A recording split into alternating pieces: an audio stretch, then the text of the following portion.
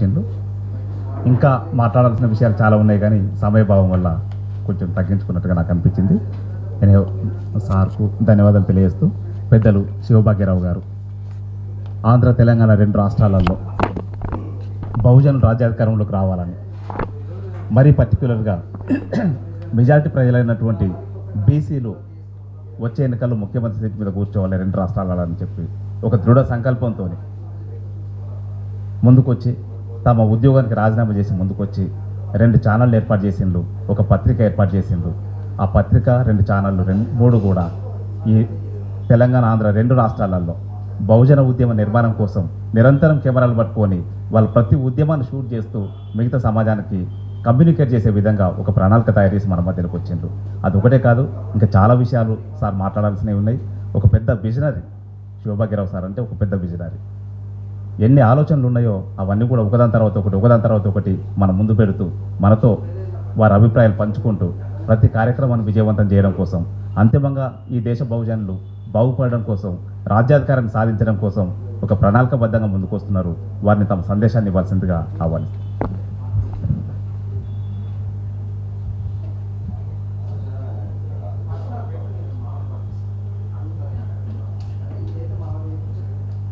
జై భీమ్ జై పోలే జై భారత్ కర్నూలు పెద్దన్న ఆర్. కృష్ణ గారు మా నాయకులు ఆర్. కృష్ణ గారు అదేవిధంగా డాక్టర్ ప్రకాష్ గారు అనుభవజ్ఞులు. ఎందుకంటే వారిని అంతకుముందు ఎస్ఎం ఎంఎస్ఎంఈలో పిలిచారో లేదో నాకు తెలియదు కానీ ఈ జాతి. ఎందుకంటే వారి నాలెడ్జ్ని ఉపయోగించుకుంటే బాగుండేది. మరి అప్పుడు పిలుచుంటారని నేను అనుకోవట్లేదు. ఏం సార్? ఏమైనా పిలిచారు అప్పట్లో? పిలవలేదు. అంటే మన నాయకుడు ఏదన్నా పదవిలో ఉంటే మనం పిలము. వారి యొక్క సోర్స్ రిసోర్సెస్ని మనం వాడుకోలేము. సో ఆ ప్రాబ్లం మనకు ఉంది సో అలాంటి గొప్ప మేధావి ఈజ్ అ డాక్టర్ ఎంఎస్ఎంఈలో మెంబర్గా ఉన్నారు. బీసీ వెల్ఫేర్ కమిటీలో మెంబర్గా ఉన్నారు. సో ఇంత నాలెడ్జ్ ఉన్న పర్సన్ని మనం ఎంతవరకు ఉపయోగించుకున్నాము? అంటే నాకు తెలిసినంత వరకు జీరోనే అనుకుంటున్నాను నేను. సో ఎందుకంటే మనిషి పదవిలో ఉన్నప్పుడు ఆయన ఏ విధంగా వాడుకోవాలో మనకు కూడా చేత కావాలి. వాడుకోవటం కూడా చేత కావాలి. అది వాళ్ళకే చేత మనకు చేత కావట్లేదు సో అలాంటి గొప్ప మనిషి డాక్టర్ గారికి. అదేవిధంగా మా ఈరోజు అధ్యక్షులు పూలే అంబేద్కర్ రాజ్యాధికార సమితి తెలంగాణ ప్రెసిడెంట్ గారు. అదేవిధంగా నేటి అధ్యక్షులు జనార్దన్ గారికి పోలా జనార్దన్ గారికి. అదేవిధంగా అదేవిధంగా డాక్టర్ గారు కృష్ణ గారు మన యాదవ్ గారు శ్రీనివాస్ యాదవ్ అండ్ కృష్ణ గారు తిరుపతి గారు. సో ప్రతి ఒక్కరు జగన్నాథ్ ప్రతి ఒక్కరు కూడా పేరు పేరున జయభీం తెలుపుతున్నాను. డియర్ ఫ్రెండ్స్ మనం ఇప్పుడు చేసేది పోస్ట్ మార్టం. ఏదైనా మాట్లాడవచ్చు పోస్ట్ మార్టం తర్వాత. మనల్ని బడ్జెట్ ప్రిపరేషన్కి ఎప్పుడన్నా పిలిచారా? అది ఎప్పుడు మనం మాట్లాడాలి? డెబ్బై నాలుగు సంవత్సరాలు అయిపోయింది. ఎప్పుడూ పిలవని దానికి ఏదో పది మంది కూర్చుంటారు బడ్జెట్ ప్రిపేర్ చేస్తారు.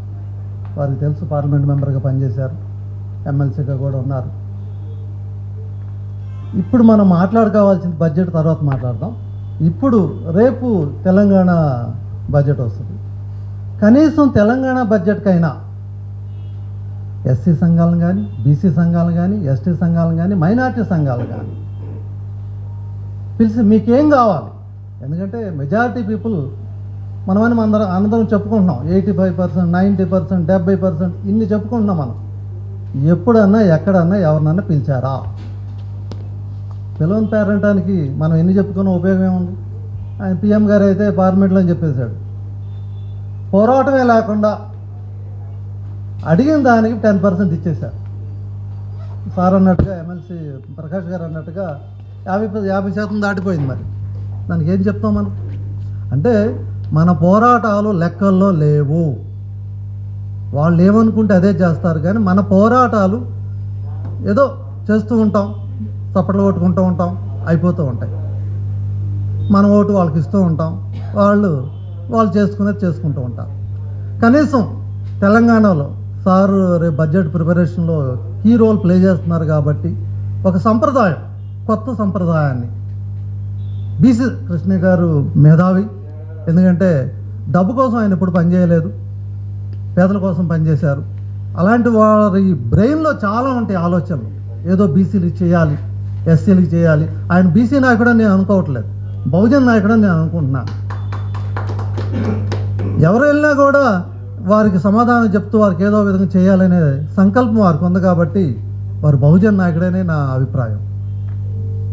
సో అందుకని కనీసం కొంతమంది ఎస్సీ నాయకుల్ని ఎస్టీ నాయకుల్ని బీసీ నాయకుల్ని మైనార్టీ నాయకుల్ని పిలిచి మీకు ఏం కావాలి? ఒక రిప్రజెంటేషన్ చేస్తారా లేదో తర్వాత విషయం. చేయొచ్చు చేయకపోవచ్చు. అది వేరే విషయం. పది మంది ఇండస్ట్రియలిస్ట్ని పిలిచేసి కూర్చుని మాట్లాడుకున్నప్పుడు నీకు ఓట్లేసే జనాన్ని పిలిచేసేసి పది మాటల్లో ఒక మాట అన్న చేస్తే సాటిస్ఫాక్షన్ ఇంకా చెప్పాలంటే ఈ దేశం అభివృద్ధి చెందాలి అంటే హ్యూమన్ రిసోర్సెస్ని ప్రాపర్గా వాడుకుంటేనే ప్రొడక్టివిటీ వస్తుంది. కానీ పది మందిని వాడుకుంటే ప్రొడక్టివిటీ రాదు. ప్రొడక్షన్ రాదు. మ్యాన్ పవర్స్ని అన్నిటిని కూడా ప్రతి మనిషి కూడా పనిచేసేటట్టు కనుక చేయగలిగితేనే దేశం బాగుంటుంది. అలా చేయని రోజున ఆ పది మంది కోసమే బడ్జెట్ ఆ పది మంది కోసమే మినిస్ట్రీ ఆ పది మంది కోసమే రాజ్యాన్ని పరిపాలించడం తప్పిస్తే మిగిలిన కూడా వస్తుంది సో అందుకని I appeal on behalf of all మా నాయకులు ప్రకాష్ గారిని. ఒక మాటగా ఈ బహుజన సంఘాల లీడర్లను ఫైనాన్షియల్గా ఎక్స్పర్ట్స్ని ఫైనాన్షియల్ ఎక్స్పర్ట్స్ని ఒక్క పిలుపు ఒక్క పిలుపు పిలిచేసి ఒక కొత్త సాంప్రదాయానికి తెరతీయాలనేసి నేను విన్నవించుకుంటున్నాను. ఇక ఇది ఇక్కడ బడ్జెట్ ఇక central budget. Almost last time six percent GDP అన్నారు. అది రీచ్ అవ్వలేదు. ఇప్పుడు మళ్ళీ నైన్ పర్సెంట్ జీడిపి అన్న సెవెన్ పర్సెంట్ జీడిపి అన్నారు సిక్స్ పర్సెంట్ వచ్చింది. ఇప్పుడు నైన్ పర్సెంట్ అన్నారు మళ్ళీ సెవెన్ పర్సెంట్ వస్తుందేమో. అది ఎప్పుడు కూడా అట్లాగే గ్యాప్ ఉంటూనే ఉంటుంది. అది జీడిపి పెరగాలి అన్నా కూడా ఈ దేశ సంపద పెరగాలన్నా కూడా దేశంలో ప్రతి ఒక్క వ్యక్తి అన్ఎంప్లాయ్ కాకుండా ఎంప్లాయ్గా ఉండాలన్నా కూడా ఇతర దేశాల్లో పోటీ పడాలి అంటే తప్పనిసరిగా సంపదని పెంచే విధంగా బడ్జెట్ ఉండాలి కానీ సంపదని దోసుకునేటట్టుగా బడ్జెట్ ఉండకూడదు. ఈ బడ్జెట్ డెబ్బై నాలుగు సంవత్సరాల్లో ఉన్న బడ్జెట్స్ అన్నీ కూడా ఇప్పుడు దాదాపుగా ముప్పై తొమ్మిది నలభై కోట్లు నలభై లక్షల కోట్ల రూపాయలు. మన వాటా ఎంత? బహుజన వాటా ఎంత? బీసీ వాటా ఎంత? ఎస్సీ ఓటా ఎంత? ఎస్టీ ఓటా ఎంత? అందరూ ప్రజలే. మెజారిటీ ప్రజలే. మన వాటా ఎంత? అంటే ఇందాకే చెప్పారు గుడ్డి సున్నా. మహా అయితే లాస్ట్ ఇయర్ నూట ముప్పై కోట్లు ఇచ్చినట్టున్నారు ఒక దీనికి ఇప్పుడైతే ఎనభై కోట్లు ఇచ్చారు బీసీ సంఘాన్ని బీసీ బీసీకి. సో కనీసం national BC financial development corporation అన్న కనీసం ఏమైనా ఇంప్రూవ్ చేశారా? ఎంఎస్ఎంఈ ప్రోడక్ట్స్ అన్న ఇంప్రూవ్ చేశారా? ఏదైనా వచ్చిందా అంటే ఎందుకంటే బీసీల్లో చాలా రకాల వృత్తులు ఉన్నాయి చాలా రకాలు. ఒక పార్క్ ఇక్కడ ఒక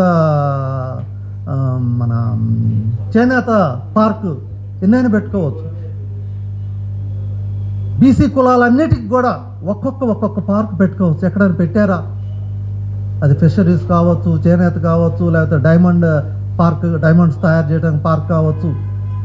ఎక్కడన్నా ఏదన్నా ఏదన్నా బడ్జెట్లో బీసీలకు రిలేటెడ్ పార్క్స్ ఎక్కడన్నా వచ్చినాయంటే లేదు. కనీసం బీసీలకి ఫైనాన్షియల్ డెవలప్మెంట్ చే ఫైనాన్షియల్గా అభివృద్ధి చెంద చెందడానికి బ్యాంకులు ఏమైనా ముందుకు వస్తాయంటే అది లేదు. సో ఇంకొకటి చెప్పాలంటే ఈ దేశంలో ఎక్స్పోర్ట్స్ ఏం చేస్తాయి? అసలు మన దేశం ఏంటి? అగ్రికల్చర్ అగ్రికల్చరల్లీ బేస్డ్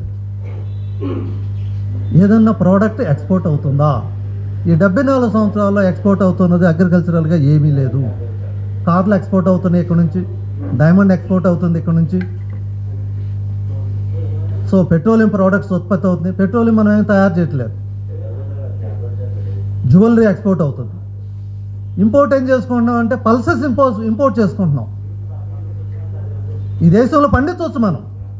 మనం ఇంపోర్ట్ చేసుకుంటున్నాం పల్సెస్ని వెజిటబుల్ ఆయిల్స్ని ఇంపోర్ట్ చేసుకుంటున్నాం మనం. ఎక్కడైనా గవర్నమెంట్ ఆఫ్ ఇండియా కావచ్చు any government for that matter ఇక్కడ మనం పండించుకుని ఎక్స్పోర్ట్ చేసుకుందాం అనే ఆలోచన ఎక్కడైనా ఉందా? ఆలోచన ఉంటే బీసీలు బాగుపడతారు ఆలోచన ఉంటే ఎస్సీలు ఎస్టీలు బాగుపడతారని ఒకే ఒక బ్యాడ్ ఇంటెన్షన్ తోటి ఈ దేశంలో పండించే పంట బయటకు వెళ్ళటం లేదు. ఏది పండించాలో కూడా చెప్పరు. పండించిన తర్వాత కొనరు. రైతులు వన్ అండ్ హాఫ్ ఇయర్ పోరాటం మీద పోరాటం చేసుకొస్తున్నారు. చేశారు. ఒక జీవో క్యాన్సిల్ చేయడానికి ఈ దేశంలో ఒక క్యాస్ట్ని పేరు మార్చుకోవడానికి ముప్పై ఐదు సంవత్సరాలు పట్టింది. నేమ్ మార్చుకోవడానికి సూర్యవంశ సూర్యవంశం క్యాస్ట్ అనేది.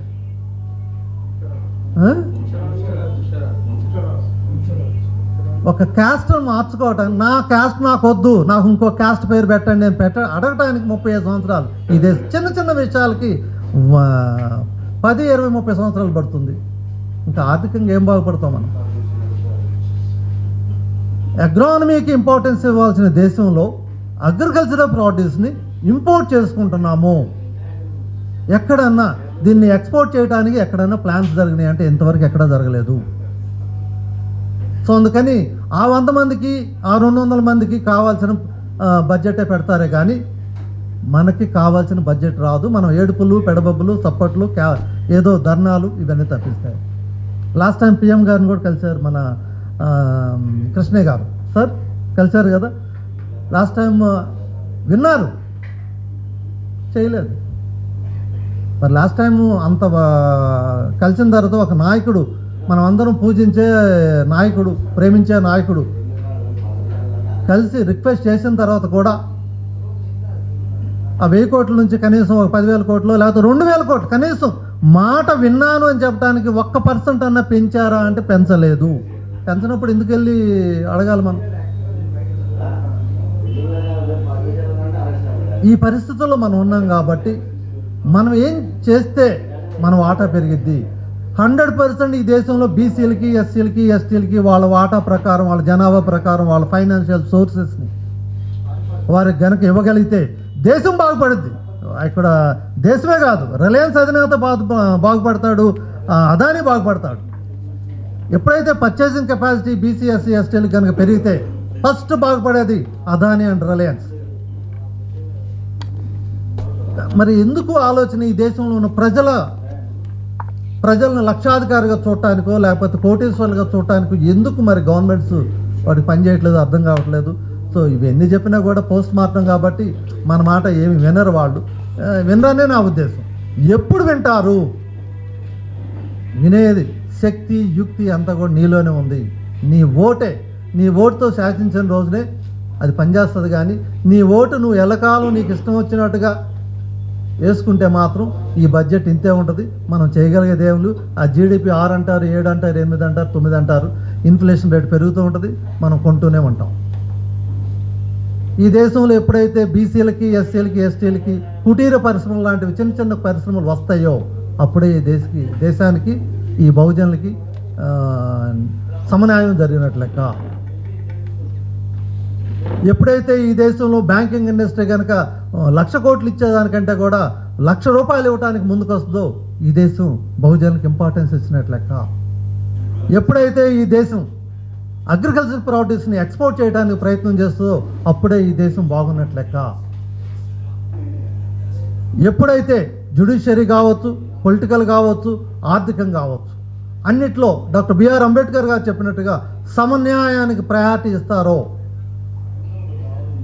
అప్పుడే ఈ దేశానికి న్యాయం జరిగినట్లు లెక్క. అప్పుడే Prakash garu budget finance minister అయితే పిఎం ప్రైమ్ మినిస్టర్ అయితే BC PM BC prime minister అయితే అంతే పార్టీ నేను పార్టీ గురించి మాట్లాడలేదు. బీసీ సీఎం ప్రకాష్ గారు బీసీ కోర్స్ మరి ఇప్పుడు పార్టీలో ఉన్నారు కాబట్టి ఏదైనప్పటికీ ఒక బీసీ సీఎంఓ బీసీ పిఎంఓ ఉండి ఒక బీసీ ఫైనాన్స్ మినిస్టర్ ఉంటే ఏం జరుగుతుందో ఒక్కసారి విజువలైజ్ చేసుకోగలిగితే హండ్రెడ్ పర్సెంట్ ఈ మీటింగ్లు అవసరం లేదు. మనం ఇన్ని మీటింగ్లు పెట్టాల్సిన అవసరం లేదు. ధర్నాలు చేయాల్సిన అవసరం లేదు. మన పిఎం మన సీఎం మన ఫైనాన్స్ మినిస్టర్ మనకేం కావాలో ఆయనకు తెలుసు. అది వస్తుంది ఆటోమేటిక్ ఆటోమేటిక్గా వస్తుంది.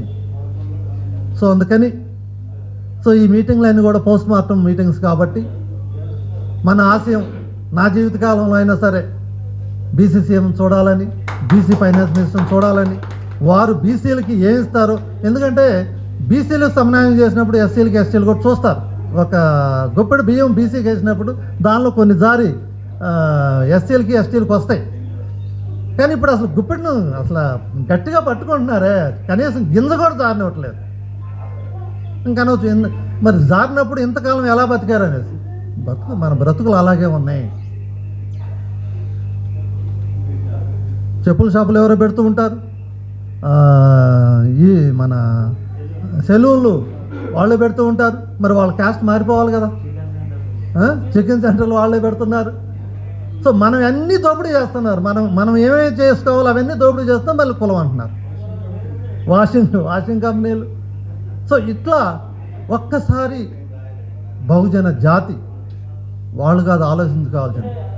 బహుజన జాతి ఆలోచించుకుని మన జాతి ఏదైతే అంధకారంలో ఉందో అంధకారం నుంచి బయటకు వచ్చి ఒక బీసీసీఎం బీసీపీఎం అయిన రోజున హండ్రెడ్ పర్సెంట్ ఏది కావాలో అది వస్తుందని ఆశిస్తున్నాను. అప్పటి వరకు నేను ఎవరిని డిమాండ్ చేయట్లేదు ఎవరిని అప్పీల్ చేయట్లేదు.